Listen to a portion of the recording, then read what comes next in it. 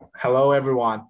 This is the presentation for the paper, AUC-oriented graph neural network for fraud detection.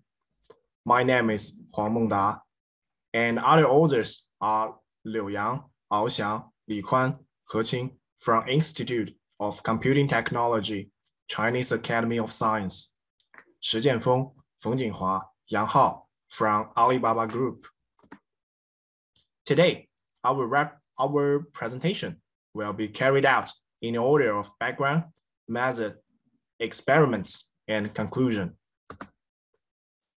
Fraud detection tasks become easier when discrete entities are built as graphs.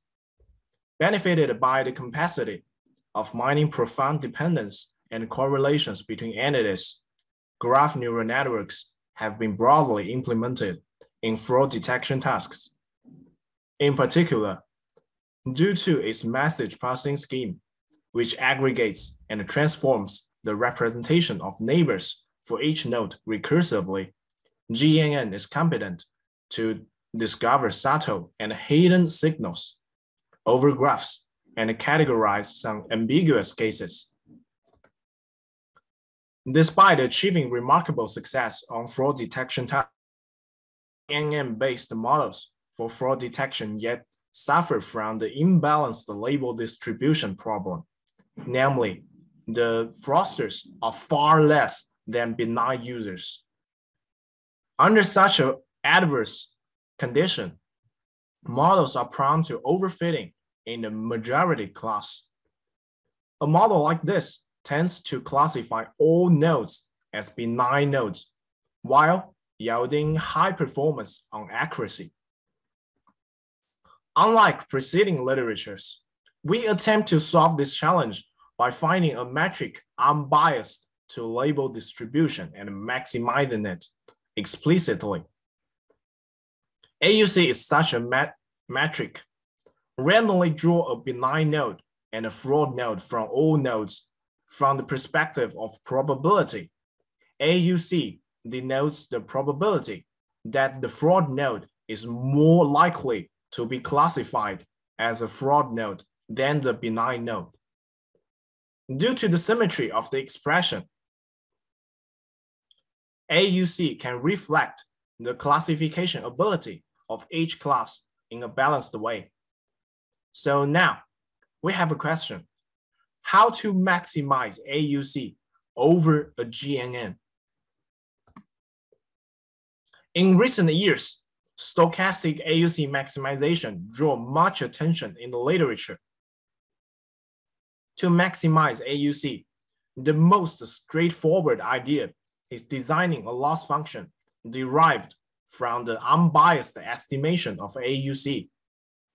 As the indicator function in the second formula, this one, is not consistent and cannot generate gradient, we replace it as its L2 convex surrogate. For this surrogate, inspired by recent progress in utilizing AUC maximization in deep neural networks, we transformed the problem of minimizing L2 surrogates to a new minimax problem. This problem can be solved by saddle point searching algorithm. This transformation is too complicated to explain, so Mm, please reading our paper for this proof. The advantage of this transformation is that in the original minimizing problem, the upper one, we need to calculate the value by traversing all node pairs V and V prime to calculate its value by all node pairs with different labels. This is unfriendly to mini batch. While in the new problem, we can calculate its value by only traversing each node. Thus, we can utilize stochastic gradient. Now, we can find the parameters of a GNN that maximize AUC. So do we maximize AUC over the graph? The answer is no. After getting a GNN well trained by stochastic AUC maximization, we find that for some nodes, randomly deletes some of its neighbors will change the predictive results of this node. This is not an accidental phenomenon. We can find this problem on many nodes. AUC is not maximized by only optimizing GNN's parameters. So why does this happen? We observe that in reality, many fraud nodes may interact with benign nodes deliberately to be looked like a benign node. Such behaviors reflected in the graph is the topological pollution. From the mathematical perspective, this challenge is also well understood.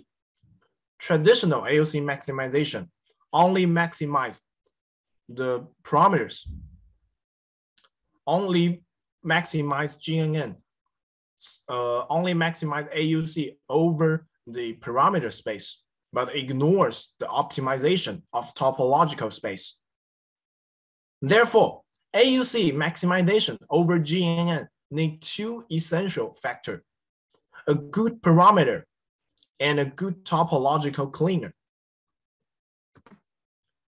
However, it is rather difficult to optimize both parameter space and topological space at once because training them needs di distinct materials.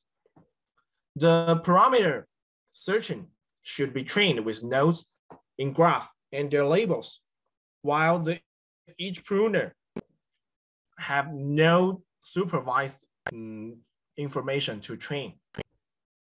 To solve this problem, we decide to train the classifier and the pruner asynchronized by decoupled optimization, which transform the original problem into two sub-problems, which is the line four and the line five in this algorithm.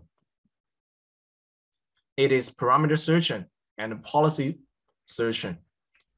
We have introduced how we solve the problem in line four by stochastic AUC maximization.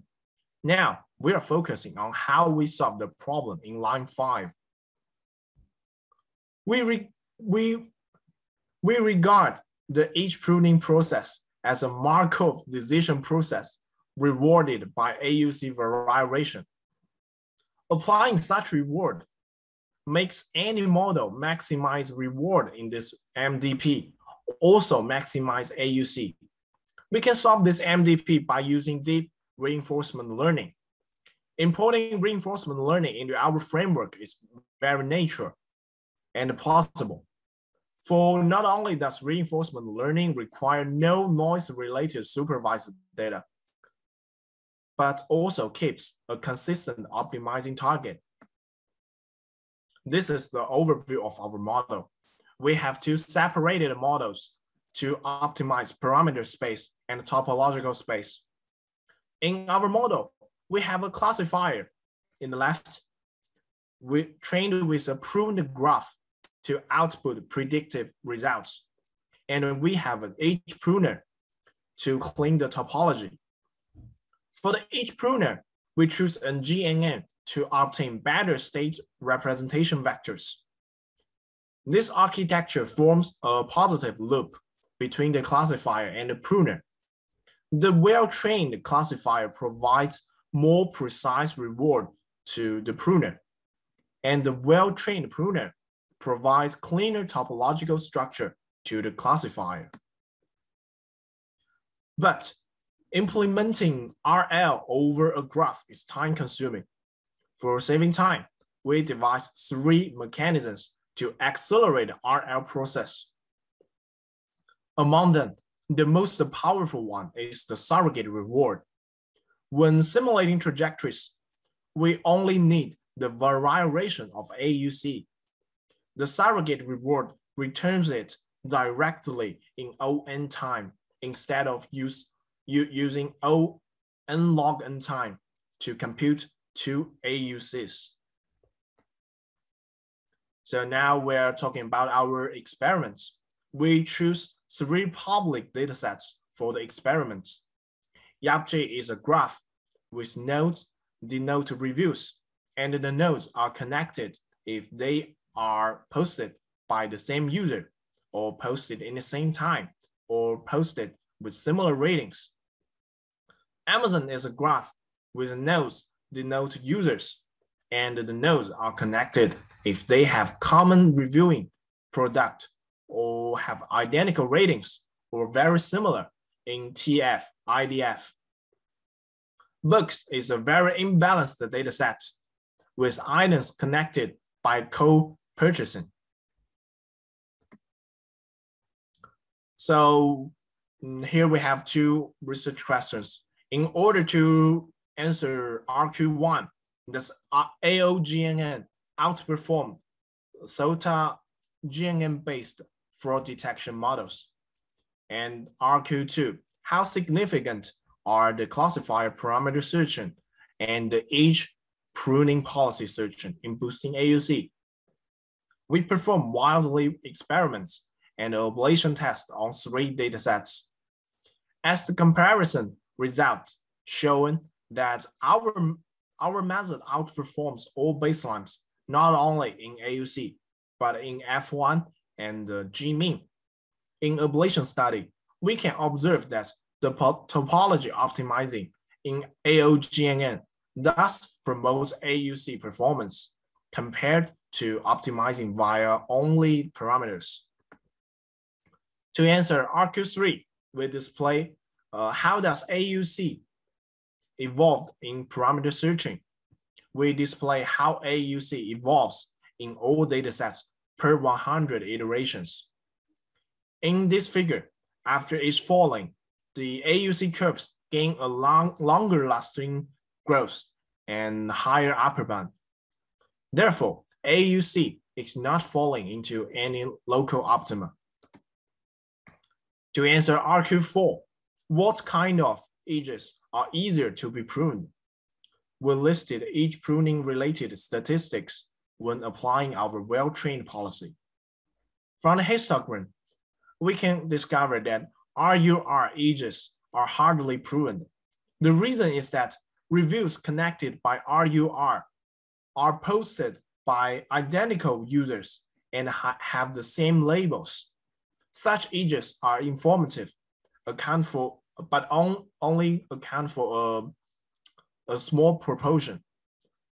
But our pruning policy is effective to keep almost all such edges. In order to answer RQ5, how effective are RL accelerating mechanisms?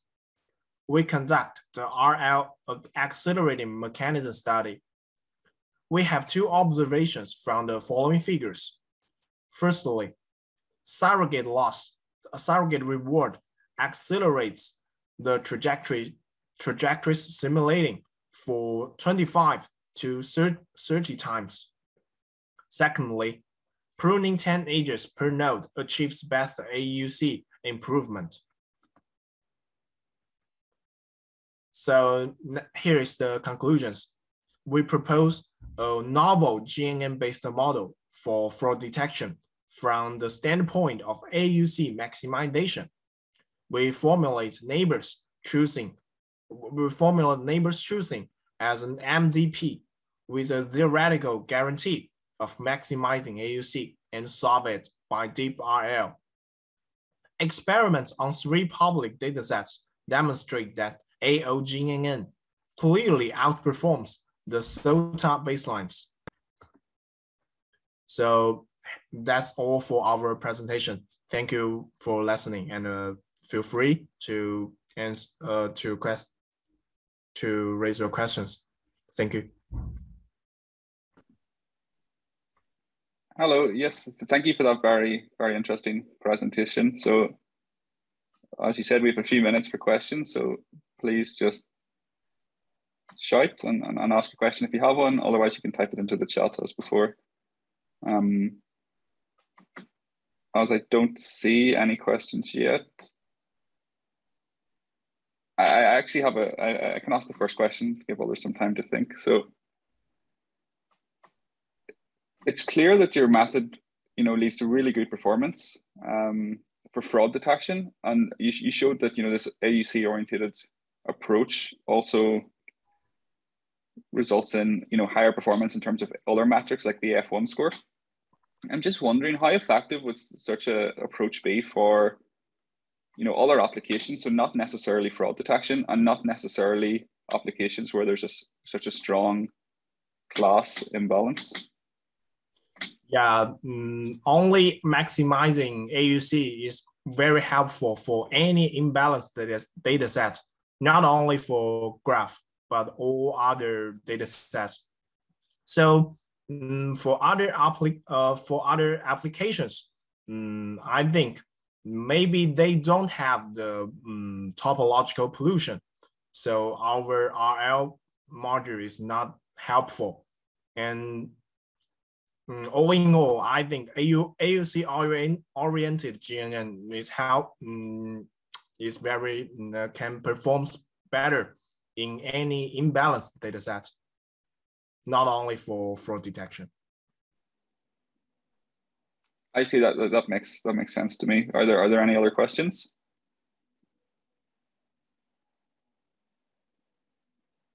Um, I'll ask this one one more quick one because I, I think it's really interesting. Um, do you know if there's a, a, a point where the label imbalance stops being important? So, you know, if it's you know say sixty percent one class, forty percent another, will such an approach like this still have such strong performance boosts?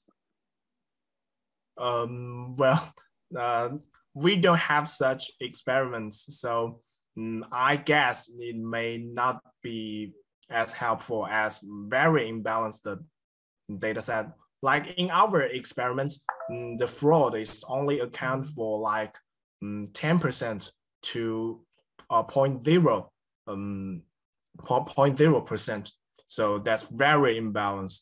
So AUC oriented learning is um, very helpful in such a condition.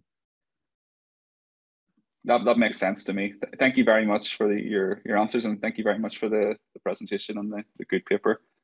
Um, okay, thank you, so, Brian.